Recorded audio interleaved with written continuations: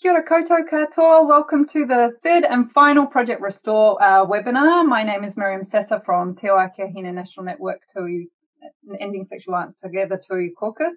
Um, I will just do a very brief house, housekeeping or um, virtual keeping of this space just to ensure that you all know where everything is so you can participate fully in today's webinar. So along the bottom of the um, of your screen, you'll normally find a chat button and that's where you can interact. So would love to hear where you're from, who you are and how you're doing today. And then there's also a Q&A button where you can ask questions to our panelists um, and explore more the topic at hand. If you do put a question in the chat, I'll be monitoring that, so we'll make sure that all questions are captured. And that is all from me. I will hand it over to the Project Restore team.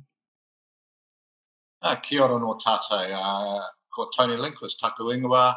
Um, and I just wanted to say welcome back. And um, Thanks for joining us on uh, webinar number three, which is working with the person that causes the harm.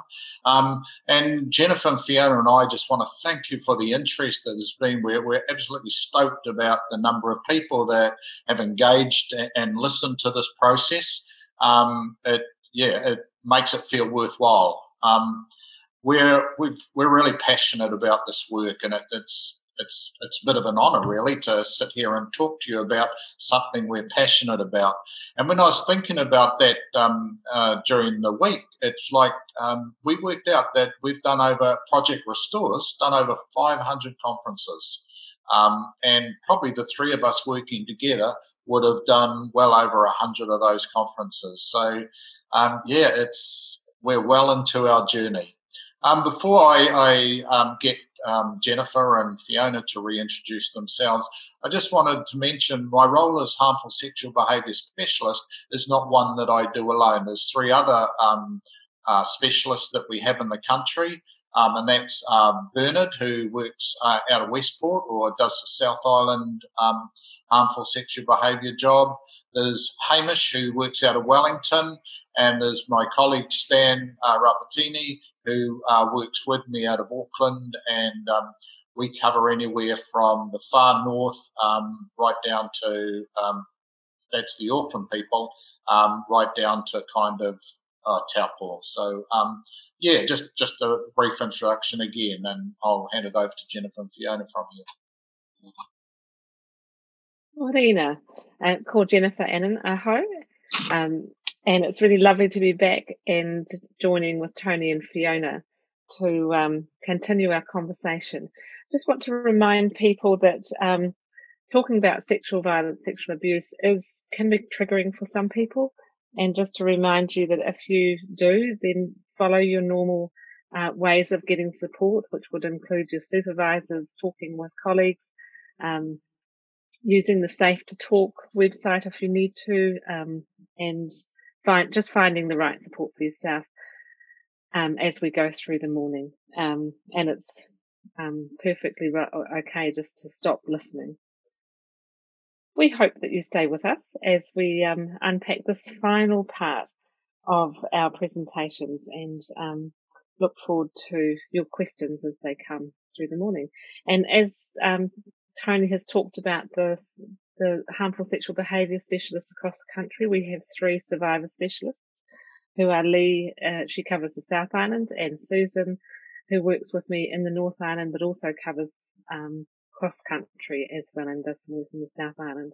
And I also work in the, mostly in the North Island, but we're very um, interchangeable because, of course, often we have clients in different parts of the country, so we mix and match our team to mix and match with the people we work with.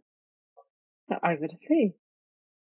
Hi everyone, Fiona Landon. I'm the Restorative Justice Facilitator for Project Restore, as I mentioned before, one of the founders along with Jennifer and many others. And um, I too work in the team. At the moment, our team is very small. There's only two um, facilitators. Um, there's Colin um, Elliott, who does the South Island and, and Wellington, and I do the rest of the North Island. So um, we're a team of, I think, nine or 10 at the moment with um, grand plans for expansion. So those teams will get bigger as we go. And a lot of us have been working for Project Restore for quite a long time. Um, Jennifer and I for a very long time. So, um, yeah, most of us are well experienced in the work. So welcome and look forward to the day. So, shall we move to the first slide? Fiona, I think you were going to go over that.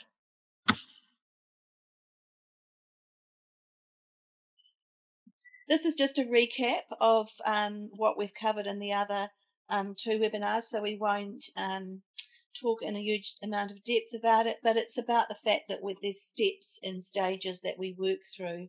Um, um, the first being receiving a referral and doing what we call an intake referral assessment, where we're assessing for suitability, and then moving into further assessments and preparation um, and the next stage being engaging in some sort of um, facilitated process or meeting that might be face to face, it might not be. Um, and then afterwards, we're following up and monitoring uh, um, action plans or outcomes. So, before we go into the intake, before Tony goes into this in more detail, um, it's important for us to note that we work together as a team. So the um, team is made up of the survivor specialist, the harmful sexual behaviour specialist, and the facilitator. Uh, we're constantly talking and assessing and bringing that to the case review meeting. And our clinical consultant at this point is Marlon Robson. She's been with us since we, um, a few years into when we started and has been an absolute gem. She comes with um, experience working with survivors of sexual violence. She's an ACC registered counsellor. She's also um, been one of the um, early members of the SAFE network. So she's able to hold both um, elements that we need to have some good supervision and consultation. Um, and in that case review meeting, we bring the various factors and their um, assessments that we have, discuss it. And sometimes they're incredibly robust conversations because, of course, we're sitting with uh, what are the survivor needs and what are the uh, potential for the harm, harm doer and are they able to be met? Um, and of course, uh, um, there will be different positions from each discipline. So, uh, being a facilitator will be looking at safety and um, and are they going to be able to hold this uh, conference and hold the people in it. From the survivor specialist side, we're looking at well, what are their needs and can we get this person to just take a little bit more responsibility than they're, they're perhaps showing at the moment. So that's kind of putting pressure on the um, harmful sexual behaviour specialist. And so needing to be working together really tightly as a team. We need to trust each other fully and be able to um, hear each other um, and work with a clinical supervisor that gives that kind of overview and feedback and coming to a consensus decision.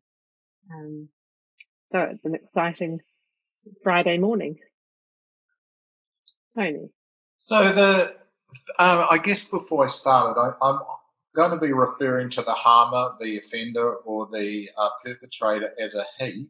Um, nearly all the people that I've worked with have been he's um, and nearly all the, the referrals have been where the causer of the harm, the perpetrator, is a he. So I, will be referring to he's rather than a he or she or whatever.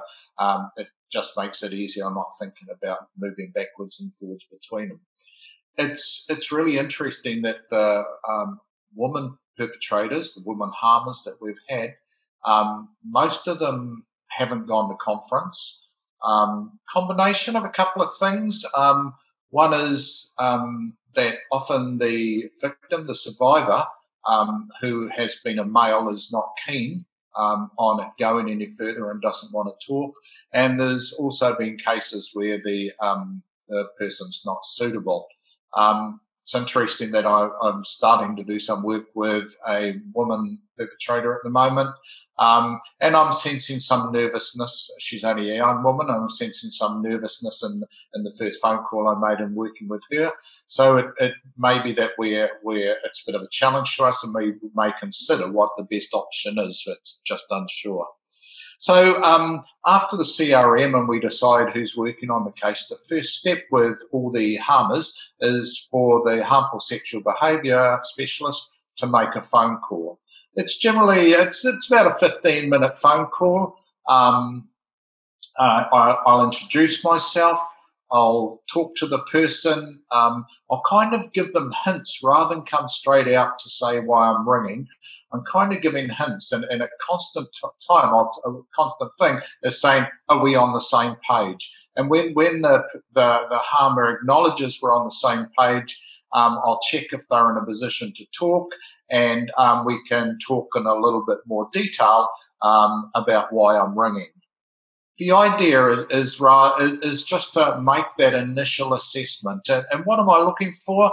I'm looking for some degree of responsibility. I'm, is this is this guy taking some degree of responsibility for what he did? Is he motivated? What's motivating him to do the restorative justice conference? So one of the questions may, well, what do you think? It, what do you think's in it for you?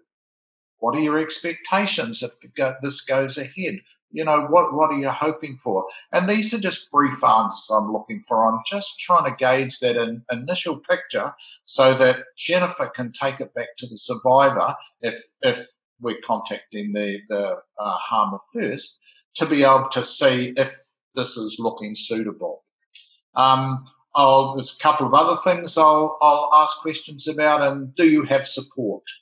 Um, I want to, we can't go further unless the person has support. So is there someone in the community? Is there someone that knows you, that knows you more than for what you've just done, um, that's supporting you? And are you willing to do this pre-conference um, before sentencing? Do you want to do it after sentencing? How do you feel if we defer your sentencing to give us more time to do it? So I'm just gauging initial answers to all these um, sort of questions that I'm working um, with the person about.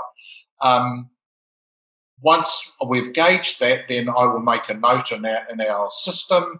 Um, I will alert the survivor specialist that I've contacted the person, and that allows them to start to get on with their assessment process. There is a difference that in, in um, domestic, where there's domestic violence or violence cases, it may be that I um, wait off no, I don't. I think I do that first so that we're not putting the survivor at any harm. Jennifer, do you just want to clarify that?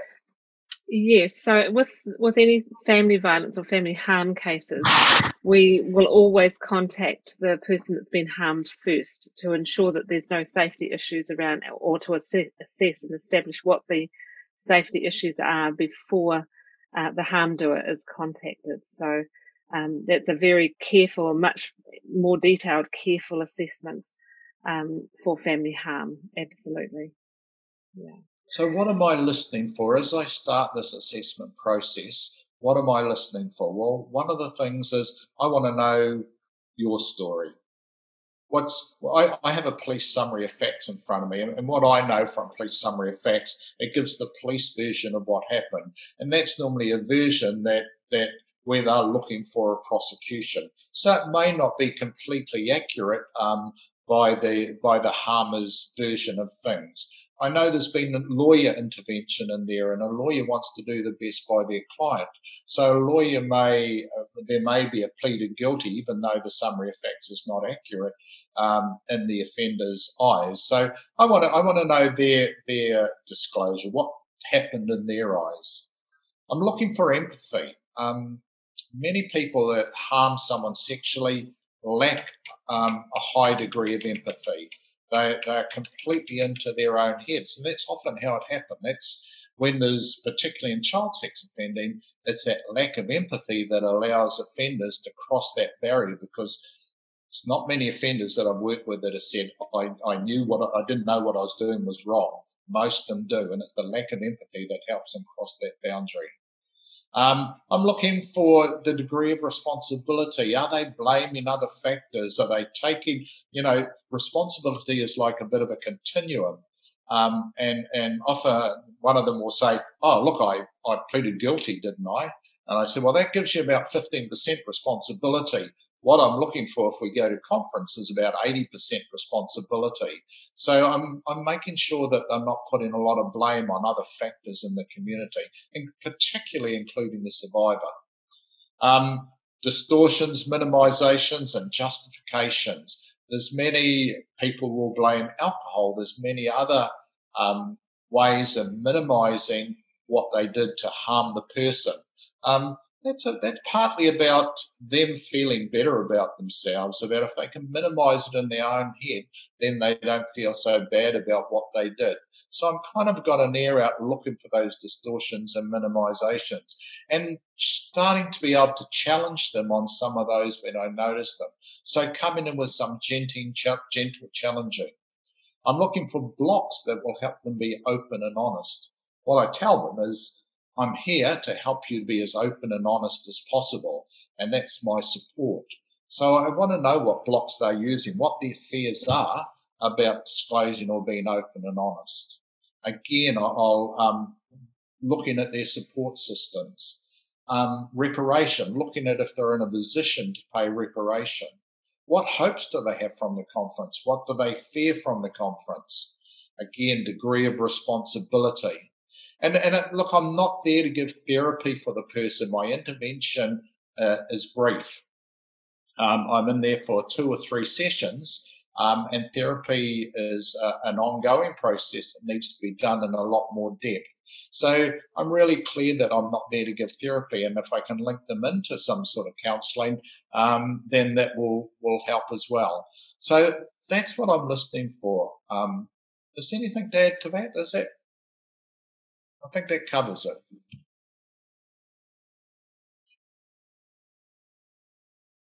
Done the phone call. And um, one of the things that we wanted to just talk about briefly is the community referrals, and um, they can come either from the survivor or from the person that's done the harm. And when they come from the person that's done the harm, of course, it creates the dilemma of how do we connect with the survivor.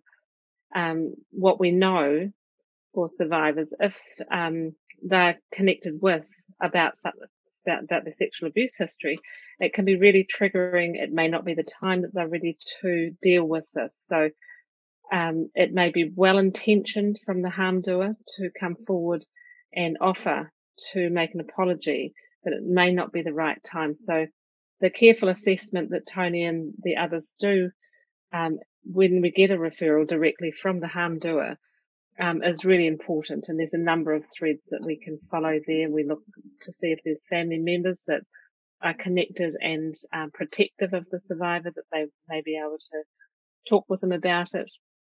We look at the victim notification register to see if they're on that, and it may be that um, they get a letter um, through parole when the person comes up for parole. So there's a number of, we look creatively to see if um, this is going to be helpful for the survivor and, and how to make that invitation without further harming them and re-victimizing them by that.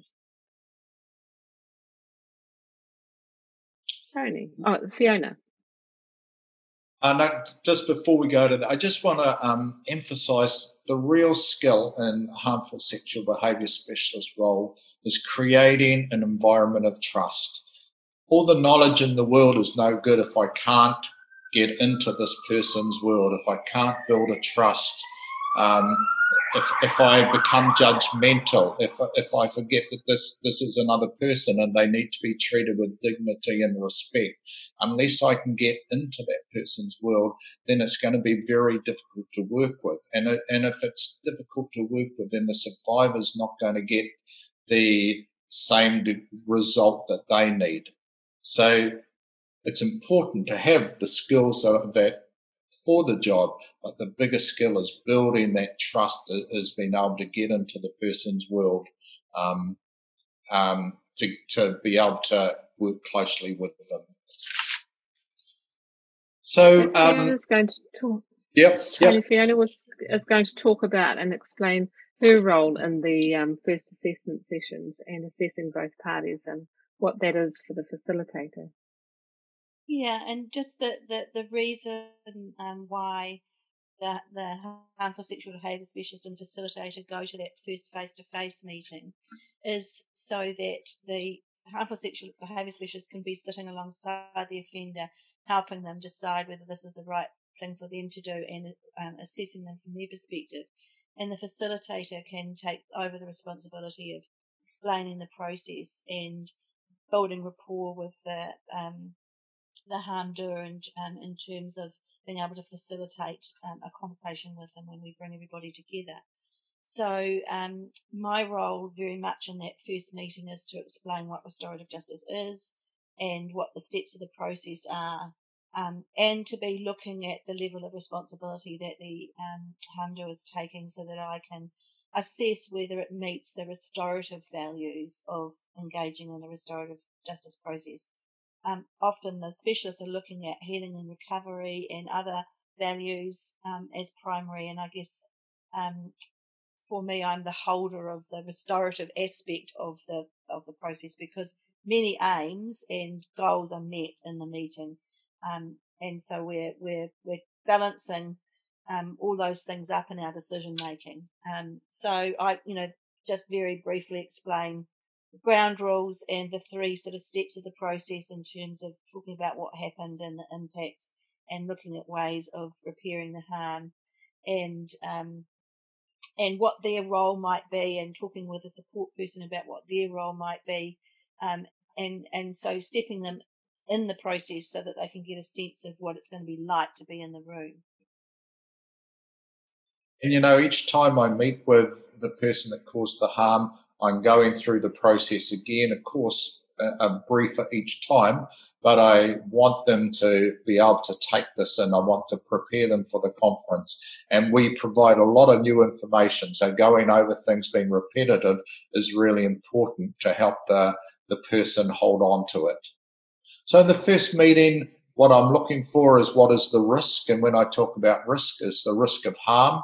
What is the risk of harm to the survivor if we go further? What is the what is the capacity of the person that caused the harm and to be able to give what the survivor needs? And what is his readiness? And we can tailor our process to be able to make sure that all those things are, are adhered to.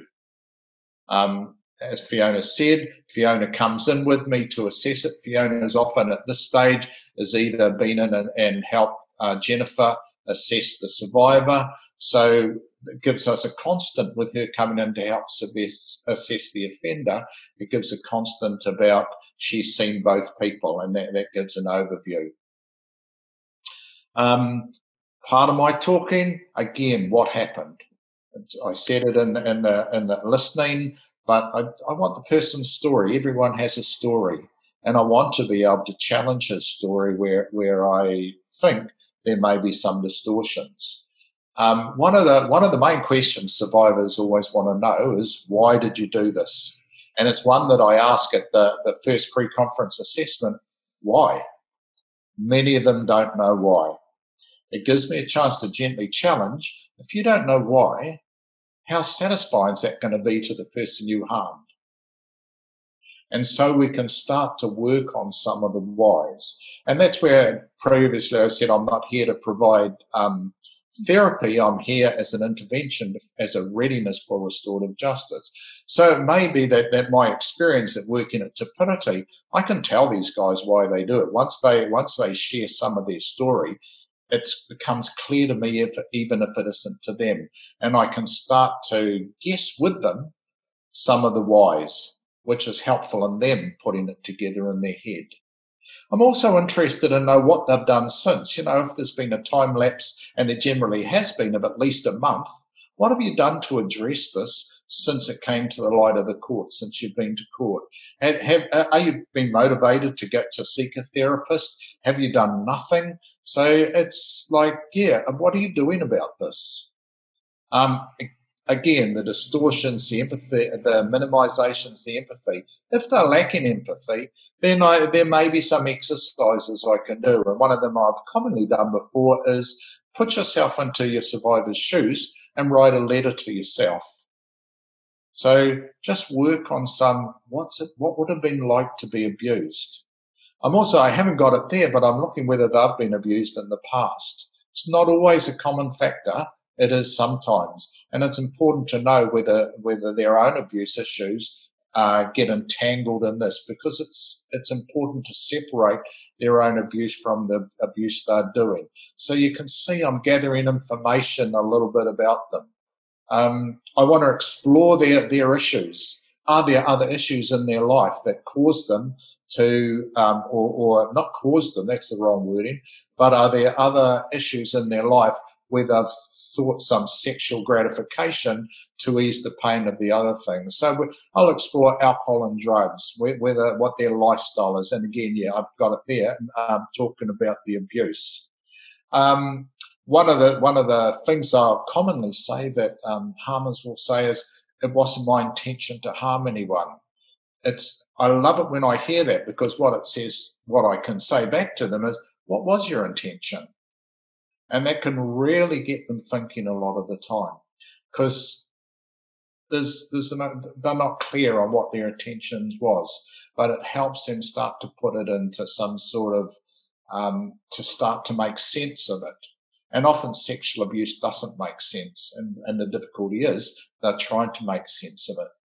Again, support. If, if we can get their support to the first meeting, that's really helpful. It doesn't always happen, but if they have a support person come along and Fiona and I can talk to the support person and let them know their role, then we're going to feel a lot more um, at ease that this person has someone. People who are sexually abusive are often alone in the world, um, or if they're not alone, they haven't shared what they've done with the people in their lives because of shame, because of the secrecy around abuse. And we, what we want to do is break that cycle of the isolation cycle or break that cycle of not telling. Um, and um, reparation, are they in a position to, to meet reparation? So if the survivor wants some out of pocket expenses, um, it's it's a point of discussion. It's always difficult to talk about money, and people start to see it as a bit of a negotiating um, process. We're not there to negotiate reparation. We're there to ask if reparation's a possibility in their case. Um, and and I guess finally, before I move on for this, being aware of the possibility of grooming. Um, people, of course, sexual harm can be manipulative and they can groom without even knowing they're grooming. So I'm constantly looking out to compliments or things they might say that just seem a little bit over the top. And, and so I can be aware of a grooming process. I won't necessarily talk to them about it, but I'll be aware that this person may be wanting to groom me to some degree to think that they're an okay person. And when I say okay, when I say okay person, it, it, it's how what's a better way of phrasing that? That what they did is not okay. They may be okay people in lots of ways. It's it's hanging around the harm that they cause through their actions. Yes, Jennifer. I was just going to comment on the grooming, and um, very often survivors are worried that we're going to be duped by their grooming behaviour, and one of the things that I've learned in my role and um, having stepped into working alongside Tony and others um, as harmful sexual behaviour specialists, I have learned an awful lot over the last 15 years and um, can pick up. I've started, I've learned to pick up those grooming uh, behaviours in the first instance, and often people are very um, ingratiating when we first meet them and um, really want us to like them. So we're able to, and our harmful sexual behaviour specialists are very good at identifying grooming behaviours right at the beginning and just then gently challenging as they build relationship and rapport. So not coming in and challenging them sort of head on, but just noticing them and working with them along. So I've been really impressed um, with that and um, really privileged to have that shared with me so that I've also been able to do that in my role because part of my role is developing relationship and rapport with the person that's done the harm so that I can help to hold in the conference process as well. Hmm. Just on that nice too, dance. Jennifer, um, one of the things that you often will ask a survivor is, what do you expect that we will see when we come across this person? Mm. And that um, builds a picture of what they are worried about in terms of that grooming and those manipulative experiences that they've had. Um, and often when we go back and give them feedback about our experience of the person, we don't share the information they shared, but we give them a sense of our experience of them. um, it will match what they have um, given us. So it's really reassuring for them to know that we saw what they saw. That's like a really, a really strong affirmation for survivors. And that trust in us builds quite a lot in those situations because they realize that we aren't goody two shoes people that are um, out there and are going to be duped by, as Jennifer says, by by by people. Next slide. Okay. So the second meeting, second face-to-face meeting with, with the person who caused the harm, um, I take the survivor specialist into this meeting with me. Generally, before this meeting, the, um, Jennifer would have got questions from the survivor, and I would have emailed them to the uh, person who caused the harm to allow them some time to prepare what they think the answers um, would be. I would have worked with the person to say your first instinct will be to give answers that will keep the survivor happy. Don't. Give honest answers. If you give answers that will make everyone in the room happy, then it's not going to make sense. So this is where honesty becomes really important. This is where you need to, to build the trust that the honest answers rather than the, the pleasing answers are the ones that we're looking for. What survivors need is to make sense of the abuse. So, um, Jennifer, do you want to talk about your role in this this second mm. assessment? So, when I come in to meet and go into the questions, which the big question is why? Why did you offend in the way that you did? Why did you um, harm this person sexually as a child or an adult or whatever the situation is? Um, and often they don't know why at this stage. And um, there's been a bit of work done by Tony to help them along the way. So it's a preparation session where they get an opportunity to test out how they might be able to articulate it and get some feedback, not putting words in their mouths, but get some feedback about what's going to be helpful to say and what is going to be re-victimizing to say. So we're again um, creating a safe conference. And it's a journey for them to be able to get from the place where they are now to the place where we need them for the conference. So they're going to say some things that oh, I think, oh my goodness, if you say that, you're going to get slapped.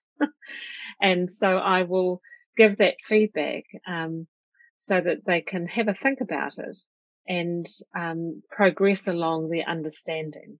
Um, and um, and that from there I can take back to the survivor to give them a reality checking check about what to expect in the conference. So if somebody is really at the early stages of understanding why they did what they did and really can't explain it, they need the survivor needs to know that, and we will then uh, contain that part of the conversation in the conference and acknowledge that this person needs treatment, and after treatment, you're going to get far better answers rather than trying to dig and dig and dig and continue to get, I don't know, I don't know. So the reality checking and this part of the, our preparation process is really important to ensure safety in the conference and that the survivors not got expectations that are not going to be met.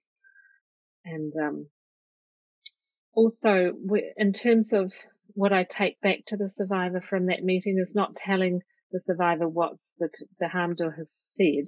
It's more taking back the flavour of it because we want the magic to happen in the meeting to for them to hear firsthand um, where the the harm doer has got to by the time they get to the conference and um, so giving getting permission from and, and thinking about what needs to be fed back because we also don't want any surprises um, in the conference so if there's um, any disclosures of other offending which generally they don't because um, they don't.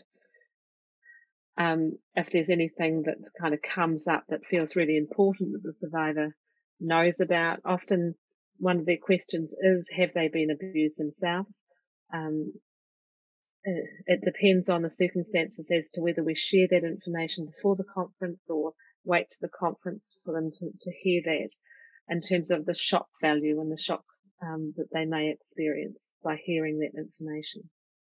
So we make sure that they're well held um, as we go into that process. Anything and you want to add, just a note on the con- um, consent to share information because I'm imagining the therapist's eyes are. Um, we are a much more open and transparent process than is normal for therapy and, and communication between therapists. But we explain that to the participants and we explain why they sign a consent form with who we're able to talk to. And then before each piece of information is shared, the specialist that's working with them will talk about what they want to share and why they want to share it. So it's given that information is given with consent. It's not um, done without their consent. And all the way through, again, this is voluntary, voluntary, voluntary. They are informed that they can pull out at, at any stage if they're not comfortable, if they don't want to, is they don't have to be there. It's a voluntary process.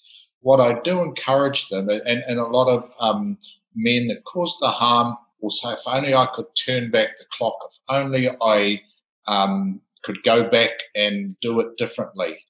You can't the next best thing is the gift of taking responsibility, the gift that will lift the burden off the survivor's shoulders. So I encourage them to be able to give that gift. Uh, what if what if she doesn't accept it? What if she's angry? That's okay. You give a gift. When you give a gift to someone, you give it knowing that it's it's given in with the best intention. What the person decides to do with the gift is up to them. So there's a lot of reassurance. There's a lot of how we traveling. There's a lot of are you doing okay? What needs do you meet? I'm I'm starting to to work in some of their needs as well because if they're meeting some of their needs, that will help the survivor have some of their needs met, uh, met as well.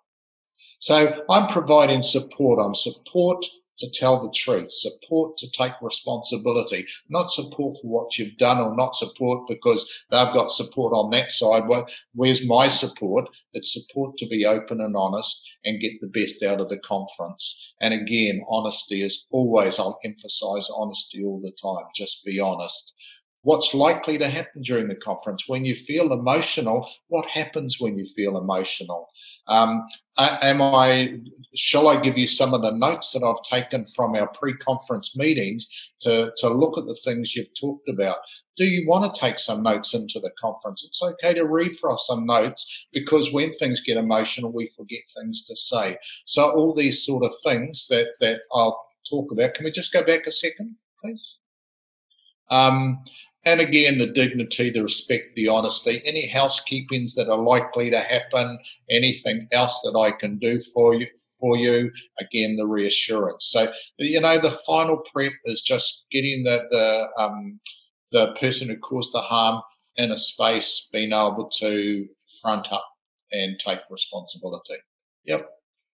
I guess it's good to note um, too about pacing that we'll be slowing the process down or speeding it up depending on the needs of the participants. So, however many sessions we have will do, and how much support is given will depend on what the needs of the individuals are, balancing the needs of everybody um, in our decision making. So then comes the big day, um, and um, you know I've already told the the harmer this is, could take anything between three and five hours. I think, well, three to five hours. What are we going to do during that? What do I talk about? Um, but we we paced it along as Fiona said. Um, I will meet the the support, um, the harmer and their support person early. What we want to avoid is people arriving at the venue at the same time and having an awkward meeting in the car park. So we plan very carefully to um, to meet early and just do some reassuring in the room. Um, if the support person hasn't met us, then we're meeting them for the first time and want to go over the uh, what happens at the conference. We need Fiona to come in and again explain the conference and bring in the consent to tape the conference and and to give feedback afterwards. Um, I'll talk about self care. It's like this is going to be really emotional. What have you got planned for afterwards? Um, you know, what nice activities you got planned for afterwards. I will have mentioned that leading up to it as well. Um, not about driving back to Tokoroa or wherever you come from, but having someone drive you. So it's looking for all those um, things that are happened that are liable to happen um, and preempting a lot of that. Um, and I, I guess in the when it comes to the conference, um, the big thing is being able to find your words. I, remember doing this with my grandchildren. It's you tell me your words, tell me your words. I'm doing this with the person that caused the harm a lot of the time as well, because they get in the room and and this happens regularly. And Fiona will do her spiel, and it's the offender's turn to say what happened, and the silence and so it may be a little bit prodding. It may be taking a break. Um, it may be it's where I have to ask a lot of questions, a lot of prompts to kind of get that flow going. Once the flow goes, it, it's it's actually okay. And once we get um, the person who caused the harm and the person's been harmed, once we get them in dialogue with each other, we can sit back a little bit and and take a bit of a back seat. But getting that happening um, is often difficult. Um, which brings me to the point the reason that we do restorative justice, or one of the things I'll say, is for the two people that were involved is to have the dialogue, or if it's whānau, for the whānau to have a dialogue about the harm that was caused, about what why the harmer did what he did. If the more that they can speak to each other, then the less intervention we need to do. It's their process, it's not ours. We're just, I guess, the guardians of the process in some way. So again, afterwards the self care, and then there's the follow up after the conference. So there'll be a phone call. The first follow up is within seven days, normally three or four days. How you doing? How you feeling now, etc., etc. And then the second follow up may be a little bit down the track to make sure that um, that they're doing what they said they would do at the conference uh, about carrying out their outcomes. And we explained that in more depth when we did the first session, when we talked about the restorative justice process. Um, Just a note on that, Tony, around. Um, you know what you said a really good conference is when the participants are speaking directly themselves um, to each other and we're sitting back in our seats and the conversation's happening in a natural way but given the, the seriousness of the of the offending and the vulnerability of the people, more often than not, we're doing quite a lot of active facilitation to keep the conversation going and to draw people out, to hold the um, person who caused the harm um, um, to account, to challenge any distortions, and um, and and managing the pacing and all those sorts of things. So it very much depends on the capacity of the people, how engaged we are as a facilitation team in the process, um, and um, ideally the the participants are the most engaged with each other. Yeah.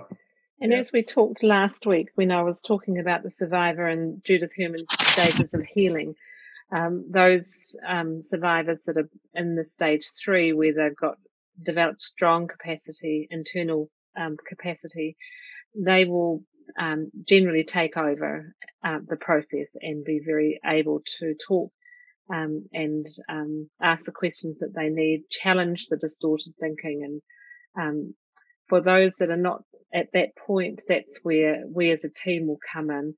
And it's really validating for a lot of people to see us actually doing that challenging and role modeling good communicate, good healthy communication skills where you can challenge in a gentle, kind way and that can be heard and accepted by the person that's um, got the distorted thinking. So I've always been um, felt very privileged to be in that position to support survivors to see a different way of doing it, breaking into those family dynamics that have perhaps supported and enabled the offending to, to continue and the grooming that sort of sits with it and to help open their eyes to a different way of being in, in their whānau family. So it's, yeah, it's been really good. And I suppose just finishing off the, the conference process is um, getting the person that caused the harm to be able to listen as much as he talks. So they know, so that the survivor feels heard, so that when she's talking about the harm that's been caused, he's able to appropriately acknowledge that. Um, and, and, you know, we'll talk about eye contact and body language and um, appropriate affir- affirming um, as that happens. So um, that's an important role as well. The next slide, I think, um, covers the follow up, which I've talked about. So we probably don't need to um, talk about that anymore. Jennifer, you had a couple of things that. Yes.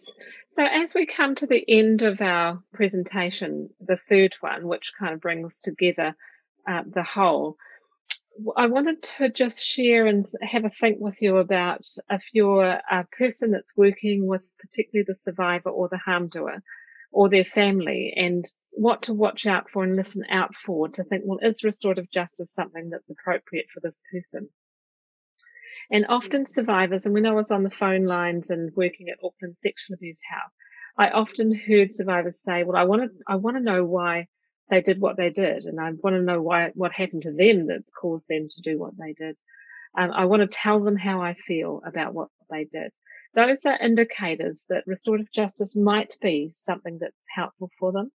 The other side of it needs to be that the harm doer is acknowledging the harm and they may have apologized over the years. Um, they also have to have a willingness to engage and often survivors have a sense of that. So being able to ask curious questions as to or how do they think that, how do you think that they would respond if you were to invite them to, to, for, for us to give them a call and talk with them about restorative justice? Um, often people, when they have an investment in relationship into the future, are more likely to engage with this process. Um, those strangers, um, or very um, minimal acquaintance type relationships are less likely to engage. So being realistic about when we're talking with survivors about restorative justice, because if we in, um, if we suggest it, then it can start to put a, a hope and um, expectation into their healing and recovery journey that if it doesn't work out, that can again re-victimize and re-traumatize them. So needing to be very careful about um, talking with them about restorative justice. Important knowing that you can consult with us at, any point um, if you just need to talk with one of us about, well, we've got this case and is it appropriate I talk with the survivor about this, we're open to um, making an inquiry through our website or um, leaving a message on our um, our phone line in the last slide. You'll see that our contact details and our website there for that. Um, often there's questions around this, so if you do have any questions, don't hesitate to contact us and check check that out. Is there anything that either of you want to add around? Some of the questions that have been coming through the chat line around that. Um, one of the questions was, do we engage with people that are um, doing treatment with their treatment providers? And um, most definitely we do. Do you want to add anything to that um, liaison, Tony? Um, yeah, I mean we've we've had um, people get to the end of their treatment course and um, in a position to meet the survivor. So we work with the treatment units or, or the, the provider to help um, make that happen for them. Um, I, th- I, think that were you looking yeah, for more than that? And sometimes their therapists might actually um, be support people for them in the hmm. program.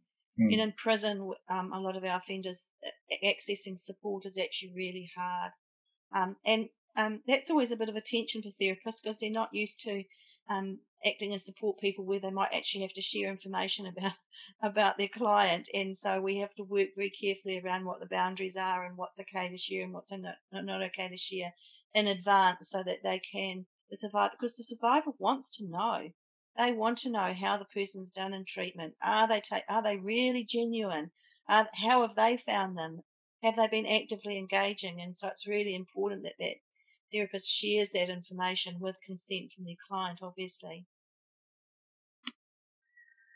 so before we go into more questions with Miriam, I just want to finish off with um, saying thanks to all the survivors and the harm doers and their support people we've worked with over the years who've worked this, walked this journey with us to develop a safe restorative justice process.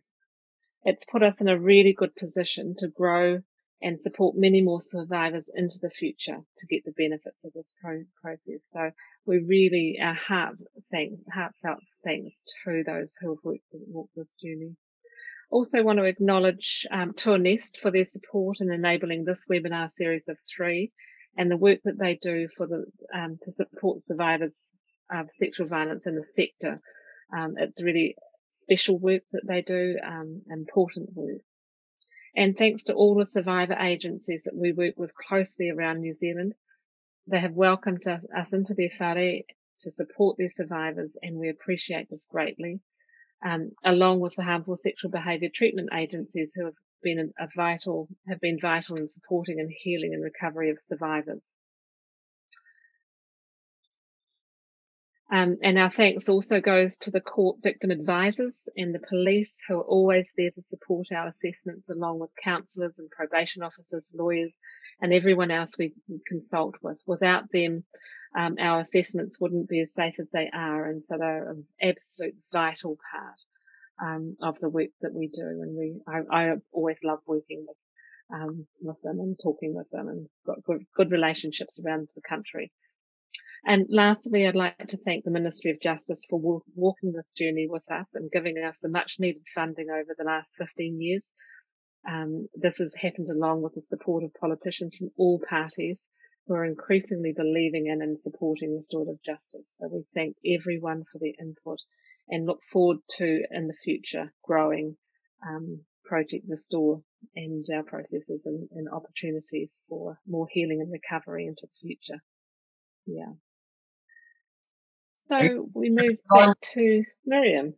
or uh, Tony. I just want to thank all the survivors and offenders that have believed in our process and trusted us with their information and trusted us with those very personal part of their lives um, that um, have trusted us enough to feel the power of um, Project Restore's work, of the restorative justice process, and the healing it can give.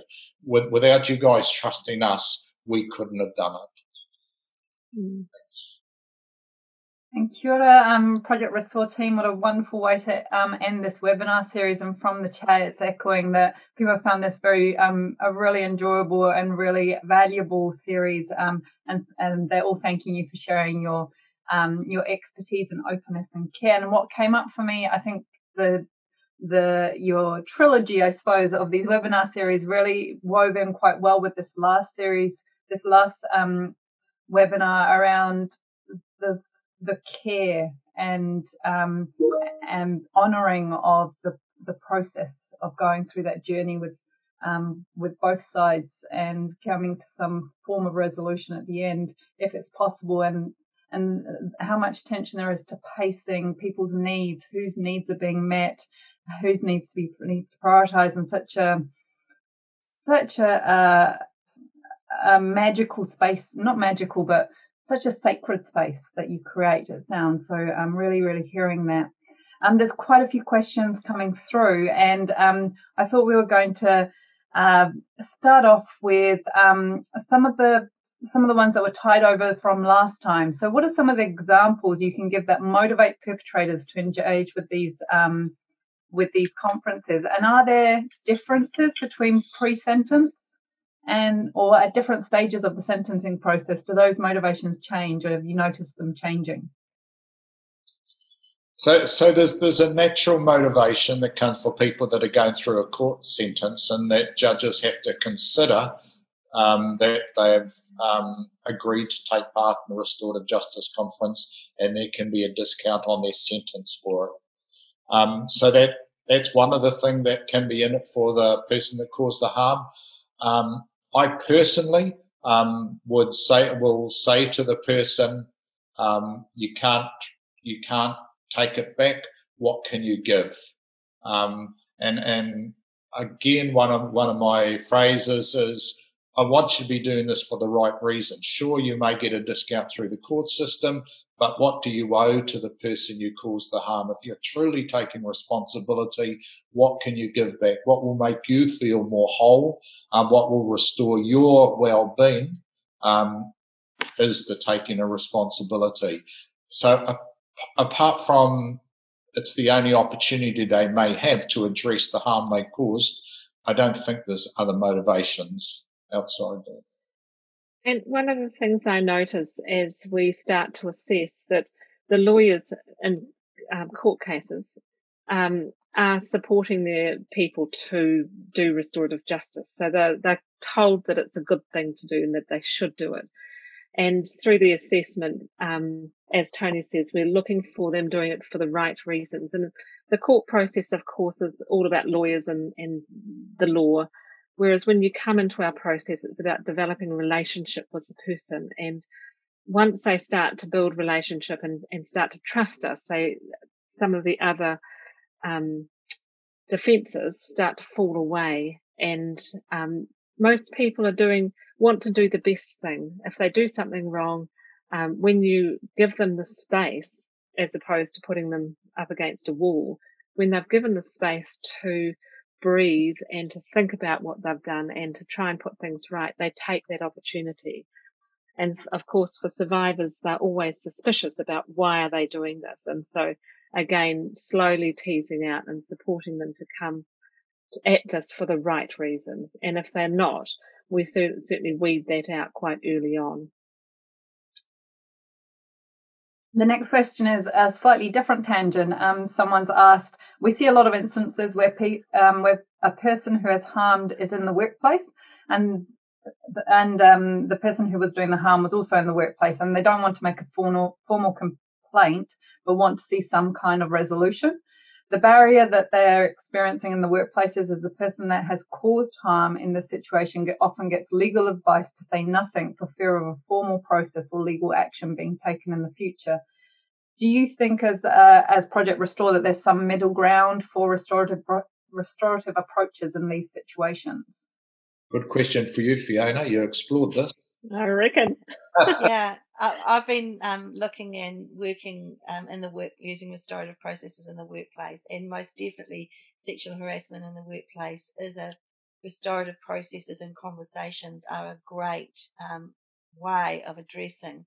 And yes, the legal aspect and the employment law um, processes um, influence people's decisions about t- taking responsibility.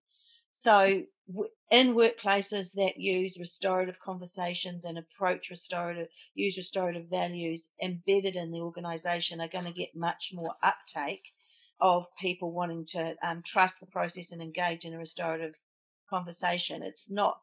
It's most common that we would get uh, called in at the other end where things have got extremely toxic and there's been camp forming and all sorts of other issues that have um, sides have been taken and it's it's moved into a, a legal process and I, have supported friends um, through these processes employment processes around sexual harassment and they're just they're not helpful and they're not successful and they're re- and most of the time it's the person who's been victimized who leaves and the person who did the harm stays.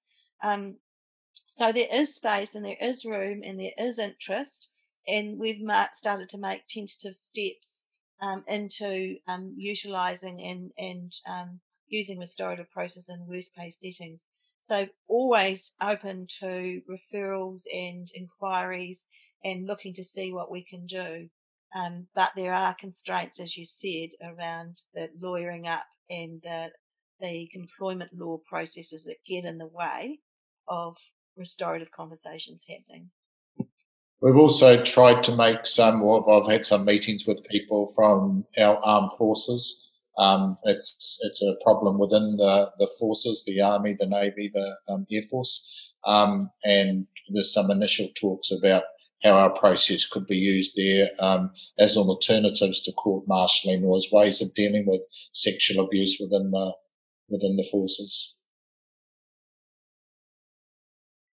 And some of the experiences and um, conversations we've had in terms of some of the institutions um, where there's been a very legalistic approach taken, and and as I've um, processed along and then giving advice to other institutions, I've realised that the taking the legalistic of, approach is actually really harmful, as opposed to attending to the harm that's been caused in a relational way um, and have come in and looked at, started to look at restorative processes. So it's a work in progress.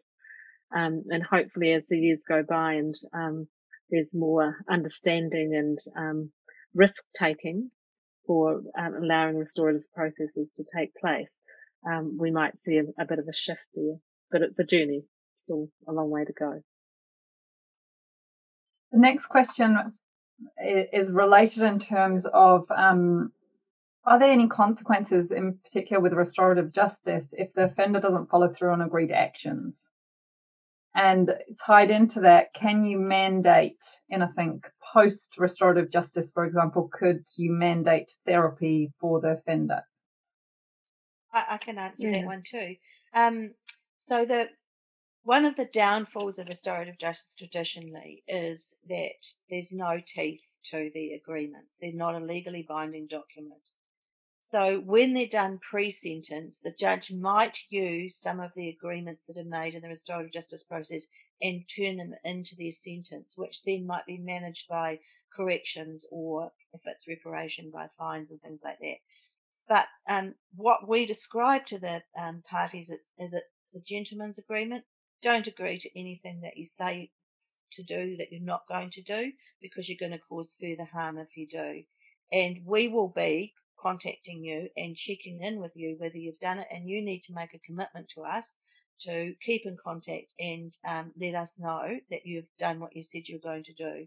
So that's as far as we can get it. We can't make people do things, um, um, and if we if we have our really serious doubts that the person wouldn't isn't going to carry out what they said they were going to do, then we would raise that as a concern in the conference and discussion around outcomes and we would be talking with the survivor about that. We try and have smart agreements that are measurable that we can report back on um, so that we can inform people as to whether they've done, been done or not. I, I and part of the purpose of the support person being um, for the, the harm doer being somebody that's going to help to hold that person to account so that we can um, have contact with them if, if necessary, but also they will be part of the agreements and be watching out for. So kind of a collaboration.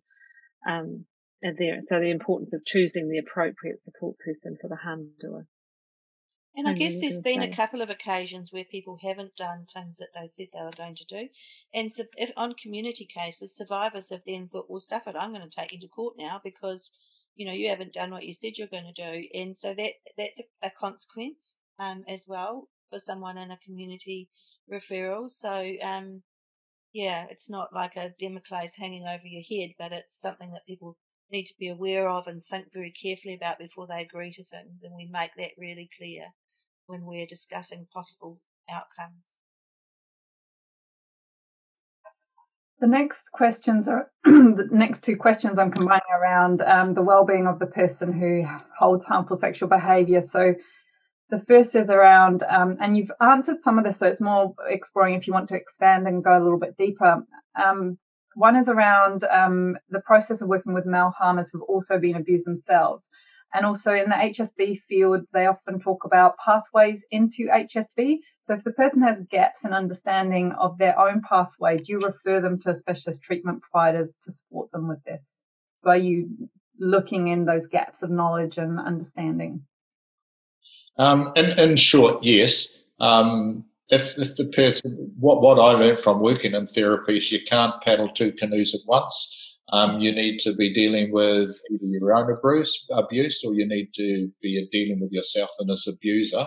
Um, it doesn't always matter which order you do that in. So encouragement through the process is, is going to therapy, going to treatment, going to a program, going to a counsellor to address both issues um, one at a time. And um, even signing the consent form for, to participate in um, Project Restore Restorative Justice is a consent to undertake therapy um, as part of doing um, the restorative justice process. And when I think about that from the survivor point of view, um, when when the harm doer has got a history of them themselves, it's acknowledging and validating that and supporting them to understand how that fits into their healing journey. Um, my, and I, I might be, um, others might have different opinions to this, but in terms of attending to the harmful sexual behavior elements in the first instance to avoid any further offending, I, I actually think is a real, really important priority. So being able to, what do you need to do to hold your own abuse whilst ensuring that you're not going to reoffend? Um, so that's a balancing act, and I think that that's the assessment that's got to be done, not just with us. We're doing a, a kind of light uh, assessment and needs to be done by the harmful sexual behaviour treatment program um, to really get to the um, what that what does that person need. Yeah. Uh, the next question is how many conferences do you generally hold it per year? Somewhere between 30 and 50, last count. Um, on the first seven years, we probably did 30 or 50 conferences over seven years. And these days, we're somewhere in the 40s to 50s um, most years. It's been fairly stable actually over the last three or four years since the change in legislation um, where it became an opt out rather than an opt in um, at, at pre sentencing. So, um, yeah, uh, that's that's what we're doing at the moment. But there's plenty of scope for um, community cases, um, working with ACC, working in workplace um, situations, working with organisations, working with churches, working with institutions. There's lots of scope for increasing our coverage in terms of addressing sexual harm. So that's a shout out as we inc- and and I think that we will be um, growing and the, the, referrals will be growing. So we will be um, looking out and scouting for the right people for our three different roles. Um, so if you do happen to be interested in working with Project Restore at any point in the future, watch out for um, advertisements for the survivor specialist, a harmful sexual behaviour specialist or facilitator roles. And um, we're always kind of interested to talk with people. We always keep our eyes and ears to the ground for whoever might be appropriate to work in our team. So don't necessarily shoulder tapping. Yeah, don't, well, yeah, don't, yeah. wait, don't necessarily wait. Contact us if you're interested, and and um, come and talk to us.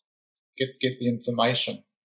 And that covers one of the questions he had, which is if the team is being enlarged, what what would the roles be for the new members?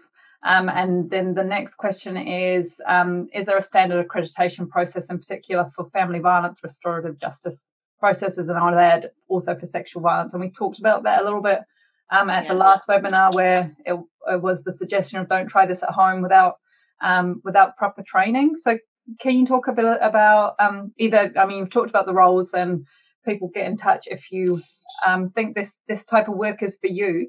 Um, but how often are the trainings? Do they cost anything? Where do they happen? Can people go and get trained independently from Project Restore and then knock on your door for work? How does it all work? So um, lots of um, questions. Um, we you can't go and get training to do this work and then knock on our door for work. We do um, in-house training um, and who we're looking for is different for each role. So with the survivor specialist, we're looking for people with already existing um, experience in working with survivors, and the same with people that um, are working with harmful sexual behaviour specialists.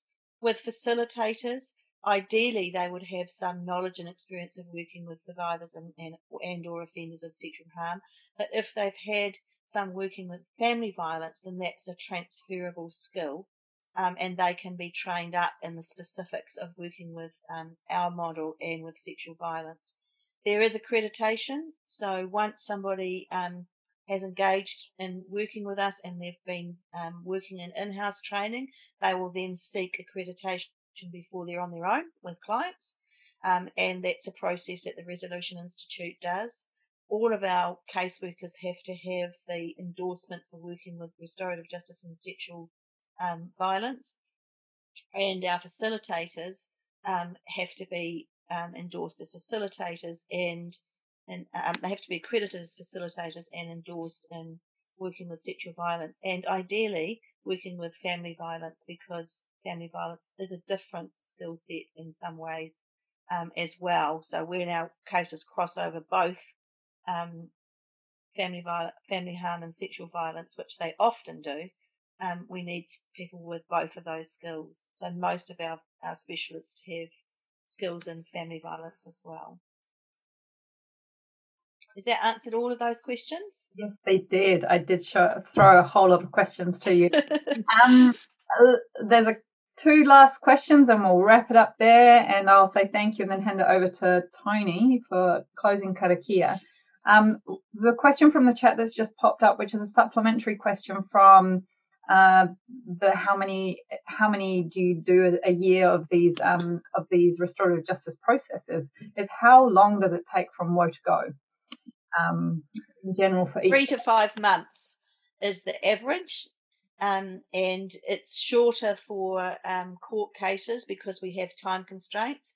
And often with community cases, it can be we can park at various points along junctions along the way as people move in and out of um, capacity and readiness. So our pacing, we might slow it down for a while and then speed it up. They might come back to us. We, we might park it. So we can be working in some cases for a year, 18 months, um, dropping in and out of pieces of work. But for the court cases, it's generally somewhere between three and five months. And the last question is around how, and we've answered this in a few of the um, of the webinar, so probably it's just a reminder of how you do this. Is um, how does restorative justice process work from a cultural perspective? And um, so we've answered this a few times. If you want to give a summary of previous answers. Um, I think who wants to go for it? well, my simple way of, of, of answering it is, is it's kind of a multicultural process, bicultural, multicultural, and that what we try and do is hold our kaupapa and work with the kaupapa of the culture that we're working with. So we try and use the two kaupapas to work together. And the um, mantra we have is we tailor make the process to meet, meet the needs of the survivor and the um, whānau family around them. And so we will, um, a bit like a chameleon, we will check out what their cultural needs are, uh, get cultural cons- consultation if we need to, and it blends very well with all cultures that we've worked with. If we can, if we truly have them in the center of the process and understand, step into their world to try and understand their world and work from where they are at. That is all of our questions. Thank you so much. So, firstly, I would like to thank you as a team for uh, being willing to share your knowledge and expertise and contribute to the library of knowledge that TOAH-NNEST is developing slowly online so that we can all utilize these webinars for onboarding and inducting and supporting new workers to the to our field, which is um, so important. I was reading in the chat that someone's just about to join this area of work, so so exciting to have great knowledge at the beginning of people's journey. Um, and it's been an absolute pleasure working with all of you and, and learning more about Project Restore, which I've been personally really passionate about because it sounds like such a unique, innovative way of addressing the harm that's been caused in society to really get to that relational um, relational repair, which is so different from what happens in courts. So thank you, thank you, thank you. And I'll hand over to Tony to close us. Thank you. Ka hori takuri o ki te heku o te ika, ki te heku o te rangi, ki runga rawai. E koro e kuia, e tama, e hini, ka huri mai. Whakarong o oh mai. Kia ora no tata. Kia ora, Tony. Kia ora tātou katoa. Go well, everyone. Thank you, Tony, and we'll see you next time. Thank you. Bye, everyone. Bye.